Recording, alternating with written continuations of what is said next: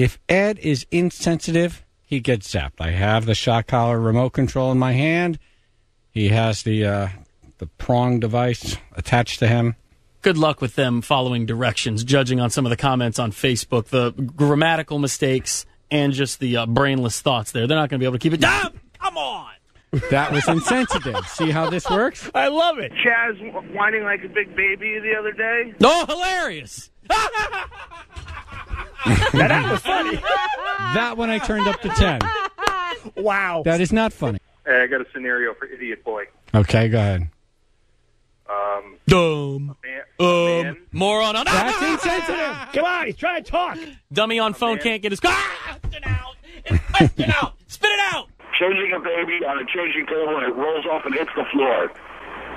Does it bounce? Does it bounce? Stop it. Like, no. God. For those of you wondering, he's I'm doing trick shots. he's getting now. zapped. Stop it. He hasn't lost his mind. He didn't even let me finish. Does it Make a sound. Not sensitive. guy standing in the middle of the Q bridge threatening to jump. Cop says, "Go ahead. The water's not that deep." Funny. Very funny. Don't make threats if you're not going to follow through. I think that's I like it. it's about a commitment.